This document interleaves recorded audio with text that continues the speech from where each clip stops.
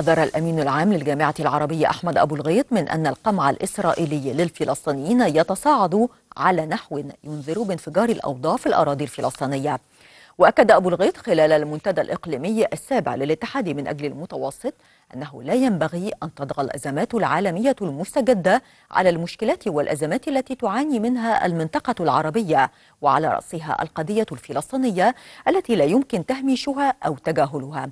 وطلب أبو الغيط الدول الأوروبية بالاعتراف بالدولة الفلسطينية على حدود 1967 وعاصمتها القدس الشرقية.